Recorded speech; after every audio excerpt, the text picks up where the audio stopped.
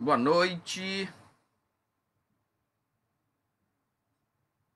Boa noite, Japão. Bom dia, Brasil. Sejam todos bem-vindos. Hoje nós vamos falar sobre um tema bem legal, tá? Eu acho que afeta é, todas as pessoas, tá? Boa noite. Quem é que tá aqui? Marcelo. Pessoal, vamos lá então. Olha, hoje é um assunto bem bacana, tá? É, que nós vamos falar como controlar a ansiedade, tá? É um mal é, que tem assolado aí a vida de milhares de pessoas em todo o, o, o mundo, né? E hoje nós vamos bater um papo sobre isso. Lembrando aí que você pode fazer sua pergunta. Boa noite, Bruna. Bruna me é conheço muito, né? Pessoal, meu nome é Kotaro Tuji, tá? É... Tive a oportunidade de morar no Japão por 26 anos, tá? Conheço muito bem a comunidade brasileira, tá? E retornei ao Brasil, tá fazendo 5 anos, tá? Minha formação em administração de empresas, né? É... Ok, né? Posso ajudar sim. Pessoal, olha só, eu vou eu vou deixar o meu contato, tá? Vou deixar o meu contato. Quem quiser depois conversar comigo pessoalmente, tá? Eu teria o maior prazer em ajudar, tá? Sejam todos bem-vindos. É, mas como eu estava falando, morei no Japão por 26 anos, tá? Conheço o Japão, fui um dos... Cheguei na década de 89, né? Passei pela, pela as crises todas que tiveram aí, 92, depois 94, 96, né? E assim por diante, tá? Mas eu quero falar sobre ansiedade, tá? Aí? Se você é, quiser fazer alguma pergunta, faça aqui, eu terei o maior prazer de responder. Ou se não, você me acompanha, né? No meu Instagram, que é arroba cotaro underline tuji, tá? Boa noite, Bruna, Marcelo, todo mundo aí. Então vamos lá. O que é ansiedade? Esse é primeiro passo. Se você olhar, nós temos passado, nós temos presente e nós também temos o futuro, tá? Fisicamente, nós sempre estamos no presente, sempre. Mas se você olhar, né, nós somos as nossas experiências. O que é que significa isso? Significa que o passado está muito presente em mim. Ou seja, nós somos as nossas experiências, como nos criaram, como cuidaram de nós, né? Então nós somos isso. E o passado influencia demais o nosso comportamento. A ansiedade, ela envolve tanto o passado quanto também o futuro. Porque muitas pessoas pensam, ah, eu tô ansioso pro dia de amanhã, eu tô ansioso pro dia de amanhã. Mas tem gente que também fica ansioso por resolver coisas que não conseguiram e que também já está no passado. Então, o que é ansiedade? Ansiedade é você ter expectativas sobre o passado ou sobre o futuro. É você querer controlar o passado e o futuro controlar as variáveis. Você quer saber como isso vai se dar, como isso vai se resolver, ou como isso vai se acontecer. Até certo ponto, isso não há problema nenhum, porque nós é, temos a tendência de querer controlar o passado, o presente e o futuro. Tá? Isso não é só em relação a nós, mas também em relação a outras pessoas. Nós queremos controlar a vida das pessoas. Nós queremos, por exemplo, que nossos filhos sejam felizes. Nós queremos que o nosso chefe seja agradável. Nós não queremos que aconteça nada na vida das pessoas. Então, quando nós temos expectativas um pouco exageradas, nós queremos já controlar realmente, aí isso vai começar a nos afetar. Pode ser de uma forma mais superficial, mas numa forma mais do que? Mais profunda. Então é aqui que eu tenho que ter cuidado. Tudo bem? Então veja que quando você está ansioso, veja se não é isso que você está querendo fazer. Controlar algo que está fora do seu controle. E isso passa a ser um hábito, tá? Um hábito. Assim como nós desenvolvemos hábitos que não leva o controle, nós também desenvolvemos hábito que leva ao controle. E conforme eu vou, né, exagerando nesses hábitos que levam ao controle, eu vou vendo que a maioria delas eu não tenho controle. E aí começa a afetar o quê? A sua saúde, tá? Começa a afetar o seu sono. Um dos pontos mais altos da ansiedade é afetar o sono. Quer ver? Preste atenção. Muitas das vezes você vê uma criança ou um jovem, né, que no dia seguinte ele tem que fazer uma viagem. E tu vê que ele fica tão agoniado, tão é, excitado, tão é, querendo que chegue amanhã que às vezes não consegue dormir. Outras pessoas conseguem, tá, pessoal? Mas na maioria não. Porque ela quer controlar esse tempo para que ele passe mais rápido e já chegue amanhã. E com isso afeta o sono. Você olhar o sono é uma das características que ele precisa de tranquilidade, paz e harmonia para poder chegar. Isso é uma coisa interessante. Então, quando eu estou muito ansioso, querendo controlar as coisas, é como se eu jogasse assim um alerta pro meu cérebro. Olha, tu tem que estar tá em alerta o tempo todo. E é isso que acontece, tá? Aí tu fica em alerta o tempo todo produzindo pensamentos. Tá? Que é interessante, tu fica produzindo pensamentos, mas que eles não resolvem a, a situação, porque está fora do controle. Tá? É, eu me lembro que eu escrevi um artigo alguns anos atrás chamado Insônia Produtiva. Exatamente isso. Aí o que é que eu me referi com insônia improdutiva? Muitas das vezes as pessoas estão querendo dormir e começam a ansiedade vir. Aí elas começam a pensar: o que é que vai acontecer amanhã? Será que vai dar certo amanhã? Será que eu vou ficar com medo? E será que eu vou perder dinheiro? E aí começa a acontecer o quê? Você começa a ter insônia. A insônia é um estado de alerta onde você não consegue se conectar com o sono. Ou seja, você está em vigília. É como se fosse um perigo. Né? Então, o que é insônia produtiva? Quando você está nesse estado né? Quanto mais você forçar o sono, você vai ver que não funciona. Então, o que, é que você vai ter que fazer? Você pode escutar é, uma música de relaxamento, tá? Você pode tomar a vantagem do Japão é essa. Aqui também tem, né, no Brasil, mas o Japão é mais forte. O a água térmica, o onsen, né, a banheira. Por que, que o Japão tem a cultura a do onsen. Primeiro pela temperatura, o frio, que é realmente é, agradável, mas é uma forma de relaxar. Eu não sei quem tem costume de ir para onsen, você vai e você pega a água, a água quente embora. Quando você sai, você vê que você, o seu corpo está em estado de letargia, porque a água quente ela tende a relaxar demais os músculos e, a, e as tensões. E aí você pode se organizar. Outra coisa que todo mundo já sabe, mas às vezes poucas pessoas fazem, é um exercício físico. Como o corpo fica muito tensionado e essa energia, essa, essa carga não consegue se dissipar, né? Ela acaba afetando muito o que? A área mental. E aí você vai. Já percebeu quando você dorme e você acorda mais cansado do que estava? Não sei se já aconteceu isso com você. Tá? Se você tiver alguma pergunta, tá, parceiro, fique tranquilo, tá? É só você mencionar aí, tá? Que eu respondo. Já percebeu? Porque no sono nós temos três camadas, tá? É o sono leve, o sono intermediário e o sono profundo. O sono profundo ele já começa a aparecer depois de 5, 6 minutos. É onde há uma desconexão mais profunda com o mundo externo.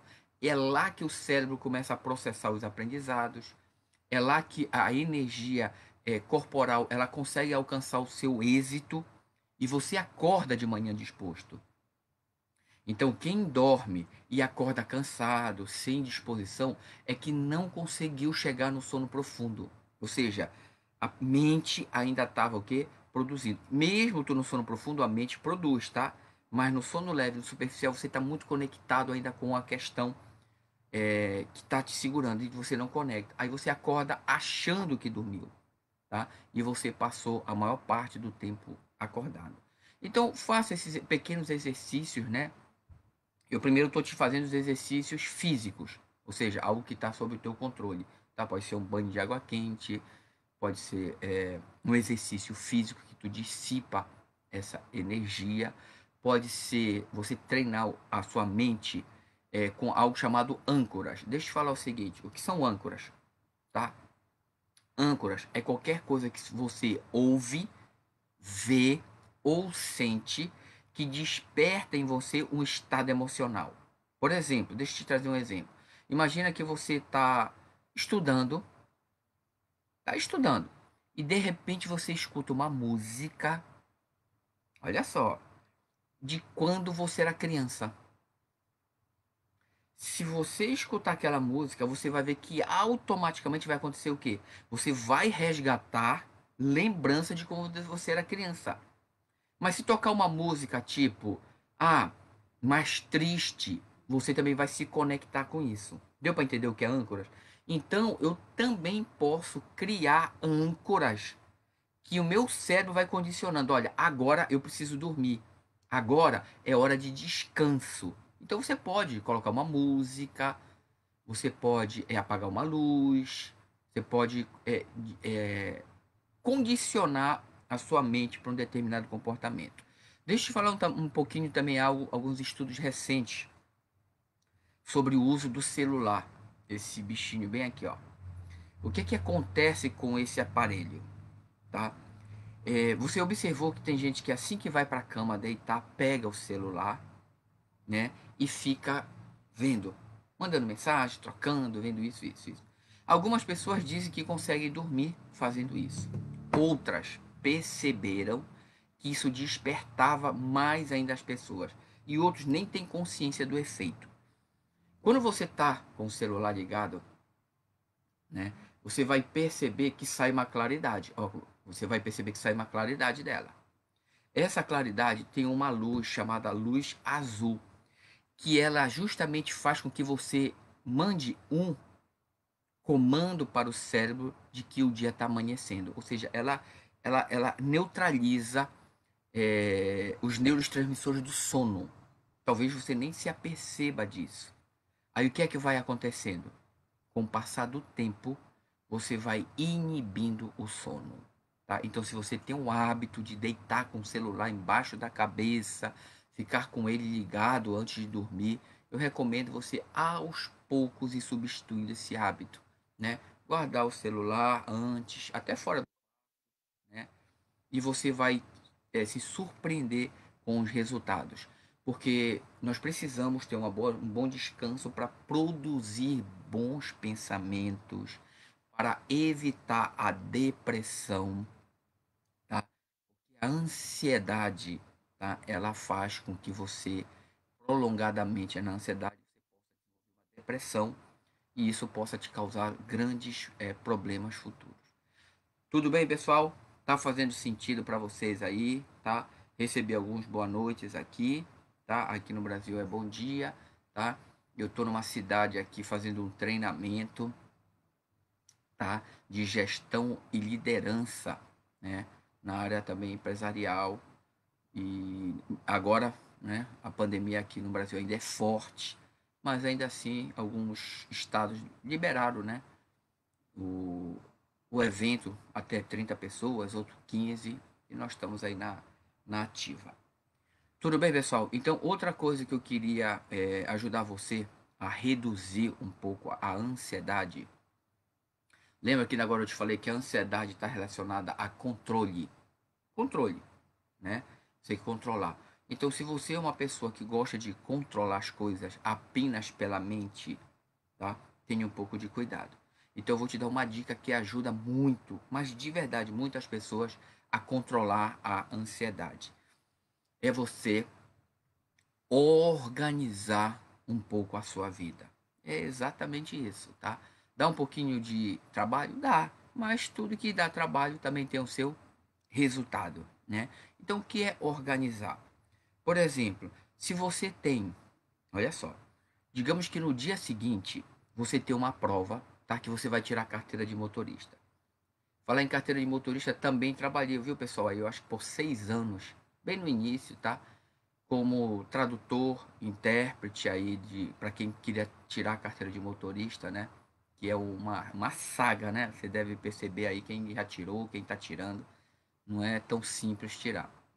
Então, imagine, olha só, que você tem no dia seguinte uma prova né, para tirar a carteira de motorista, uma prova prática. E aí todo mundo já falou para você que é difícil, todo mundo já falou para você que ninguém passa de primeira e colocou um monte de, de, de coisa na sua cabeça. Olha só.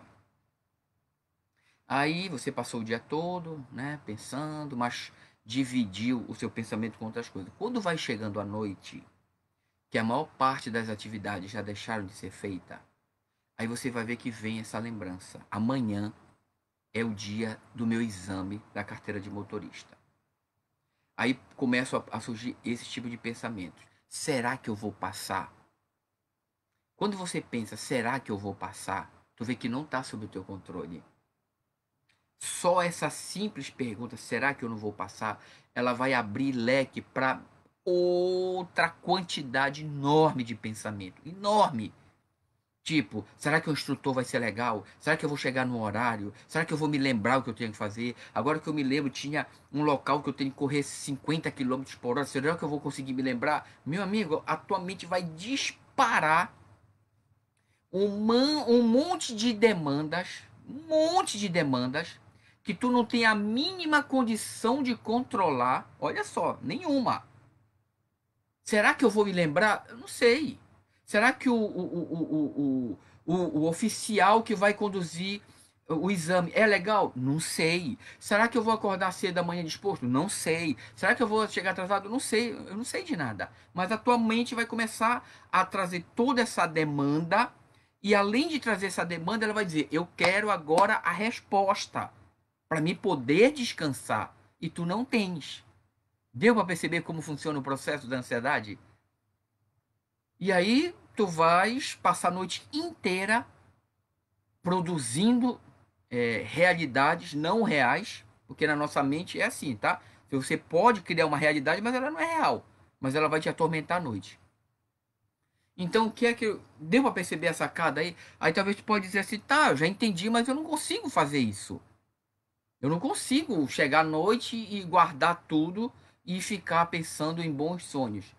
Mas eu queria te lembrar que é sim possível amenizar e estruturar isso. Tu lembra quando eu te perguntei, será que eu vou passar amanhã? Será que o guarda é legal? Será que eu vou me lembrar? Isso tu não pode fazer. Mas aí o que é que tu já pode começar a fazer? Olha só. Será que eu vou chegar atrasado? O que é que tu já pode fazer? Organizar o despertador com uma margem de segurança para um acidente pelo meio do caminho, né? Um imprevisto em algo familiar. Então, isso eu já posso fazer. Então, se você tinha que estar lá, sei lá, 8 e leva 40 minutos, olha só. Se você sair 7, leva 40 minutos, você deu uma margem de 20 minutos. É bom esses 20 minutos ou não? Ou seria interessante tu deixar 40 minutos? Chegar tranquilo, sem a respiração ofegante, bem tranquilidade. Então, isso já está sob teu controle. Então, quando tu colocaste já o despertador bem antecipado, tudo direitinho, o que é que a tua mente já vai dizer? Olha, essa já está sob o controle, tá? Já colocamos aqui, vamos acordar cedo. Então, pronto. Aí é uma coisa a menos. A outra, ah, meu Deus, será que eu vou esquecer alguma coisa? Então, o que é que tu teria que fazer à noite? Lembra que eu te falei de uma organização? A organização e a preparação, elas são fundamentais para acabar com a ansiedade. Por incrível que pareça. Então, o que é que tu ia fazer? Tu ia pegar a notificação do exame, o, o teu gadinho toroco, tu ia deixar a taxinha que tem, tudo certinho numa pastinha organizada em cima da mesa, é vista, revista, ali é só passar a mão e levar. E não acordar de manhã procurando tudo. Então, o que é que tu vai dizer pro cérebro agora? Olha, dorme tranquilo, o horário já está certinho, não vai ter problema. A documentação nem te preocupa que não vai ter risco nenhum, já está organizado. Ó, duas coisas que tu já te preparaste. Deu para perceber? Aí a terceira, ah, mas será que o guarda é bonzinho? Se tu colocar isso na tua cabeça, tu tá te esquecendo do item. Tu estás querendo Olha só, controlar o comportamento do guarda para que ele seja acessível e você passe. Mas o que vai você fazer passar não é o comportamento do guarda, porque você pode pegar um guarda bonzinho, mas ele muito exigente. Então, onde é que tem que ver? Uma recapitulação do percurso que você vai fazer, uma mentalização de todo o aprendizado que você teve e organizar para aplicar amanhã. Deu para perceber? Quer dizer, controlar o guarda você não consegue, mas controlar o aprendizado você consegue. Então, ó, três coisas tu já tem sob o teu controle. Três coisas: o horário, a documentação e agora o guarda tá fora. Se for um guarda bonzinho ou um guarda ruim, a finalidade não é se ele é bom ou ruim, é se ele é uma pessoa que conhece a legislação. Então, eu me lembro que quando eu trabalhava, tinha guardas lá que estavam sorrindo, eram educados, mas caneta para tudo que é lado. E aquele lá bravo que, que não dava, não te olhava com bons olhos, mas via o teu esforço. Deu para perceber, colega? Então, eu só estou te trazendo alguns pontos, né? Só algum exemplo assim prático para te ver como é que funciona as coisas. Tudo bem? Então, é esse que eu quero falar. Então, esse é um exemplo. Aí começa. E se eu não passar? Bom, todo mundo que vai, o, todo mundo que é atleta, né? Por exemplo, um atleta que vai disputar um campeonato, ele tem que correr três riscos. Ele ganha, ele perde, ele empata. Isso faz parte do jogo. Deu para te entender? Ah, mas eu quero ganhar. Que bom. Mas lembra que empatar e perder também faz parte. Eu preciso entender isso. Então, se você for fazer a, a, por exemplo, a prova, eu tenho que saber que essas três variantes fazem parte. Eu passo, ou pode ser que eu não passe. Deu para te entender? Tu indo com esses dois, pronto, tu conhece a regra do jogo. Agora, você querer editar as regras do jogo quando não é possível, não, não é assim, colega. Deu para te entender como é que funciona o processo? Eu estou te trazendo, estou te tirando do mundo subjetivo e estou te levando para a área o quê? Objetiva da ansiedade. Aí eu posso. Então, olha, quatro coisas tu já tiraste, né? O horário, a documentação, né? O controle sobre o guarda e agora se as regras se você tem que passar ou não. Você não tem que passar. Você vai se esforçar para passar. E se acontecer alguma coisa, pode ser que não tenha sido o momento para isso. E você aprendeu com isso. E aí tu vai te tornando uma pessoa o quê? Bem melhor. Pessoal, tá, tá fazendo sentido aí para você? Tá todo mundo tranquilo aí? Tá? É... Se você quiser também desenvolver mais esse potencial, se você quiser trabalhar, tá? É... com essa metodologia, tá? Aí, quem sabe você possa fazer uma formação em programação neurolinguística, tá? Quem quiser fazer uma programação neurolinguística, tá? 100% online, me manda aí uma mensagem que eu terei o maior prazer de te ajudar e tu compreenderes, ó, como é que funciona a estratégia da mente e tu possa ser muito mais do que muito bem sucedido. Pessoal, tudo bem até aí? Tranquilo? Né? Espero que. É, é, geralmente eu deixo gravado, né? Se você quiser compartilhar depois com alguém, trazer alguém para assistir, né? Você vai é, ver algo muito é, impressionante, tá? Tudo bem sobre ansiedade? Então, esses são. Eu te mostrei os exercícios na área objetiva, né? Que é uma água quente, é o exercício físico, mas também te trouxe a área da subjetividade. Como tu consegue o quê? organizar os elementos da ansiedade, porque eu preciso saber como é que eu lido com ela, tá? Senão você não vai conseguir sair. E por um tempo profundo da ansiedade, é, você pode ser acometido por uma doença mais séria, tá? É, a última vez que eu fui no Japão tá fazendo, eu acho que três anos, né? Faz cinco anos que eu voltei ao Brasil, mas eu voltei nesse período duas vezes, tá? Levando alguns treinamentos para o Japão, tá? se você tem intenção de algum desenvolvimento, né, na área de inteligência emocional, na área de gestão e negócios, tá? Na área da programação neurolinguística, também na área do coaching, tá? Quem, eu não sei se você também conhece a área da constelação. Então, todos esses são itens, né? que eu também posso estar te ajudando com mega formações, tá? Tô programado para ir para o Japão, tá? Ano que vem, mais ou menos em março, março de 2021. Devo estar levando aí uns dois, três treinamentos, tá?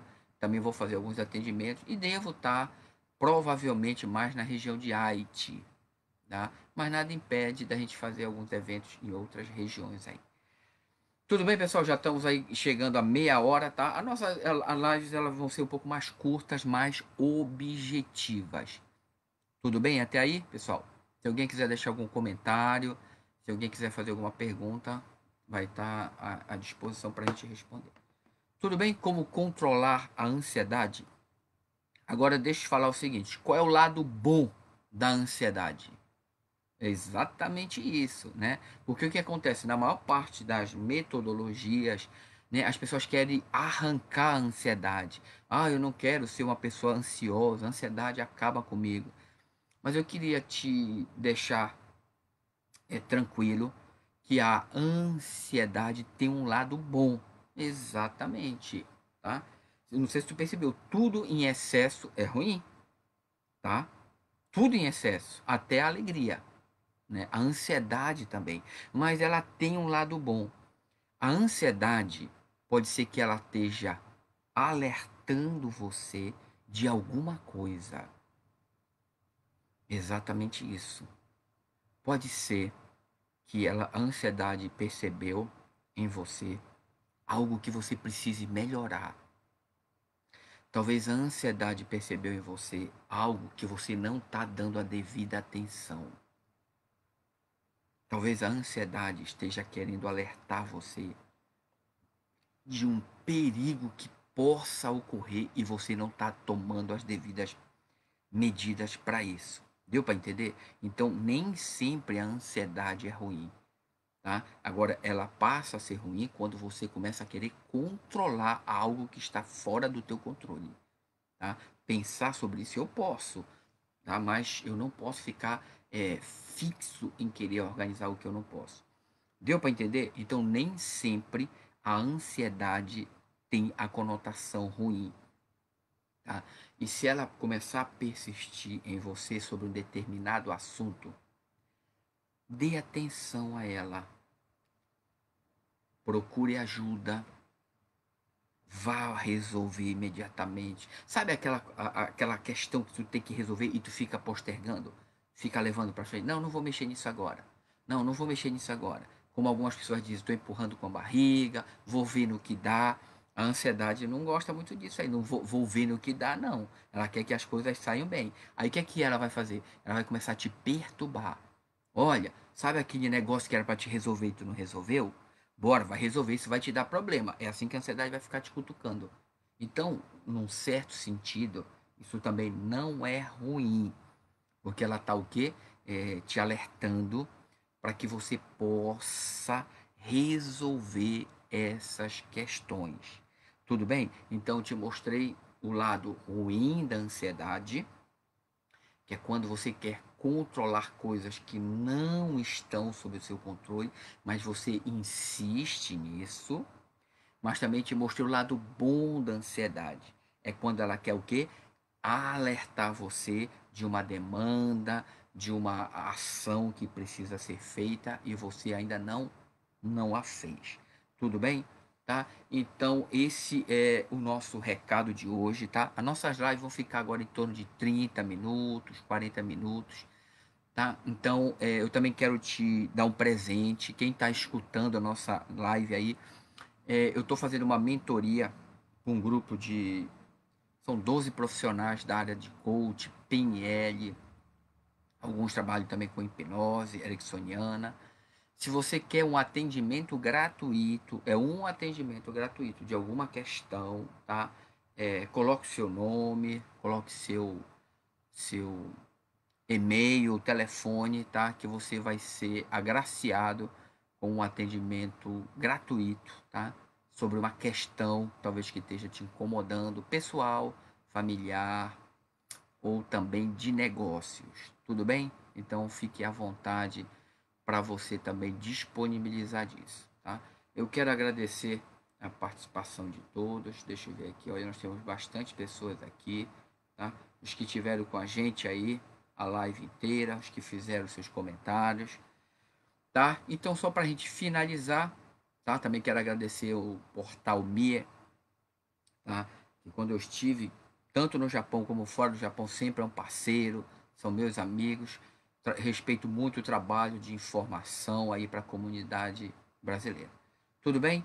É, depois eu vou marcar a próxima live e a gente volta a falar de um outro tema aí, tá? Se você também tiver alguma sugestão de um tema específico, fique à vontade que eu terei o maior prazer em fazer essa consideração, tá? Então, quem quiser um atendimento gratuito, online, me avisa que nós vamos ter o maior prazer de atender você e ajudar você na sua questão, seja ela qual for tá?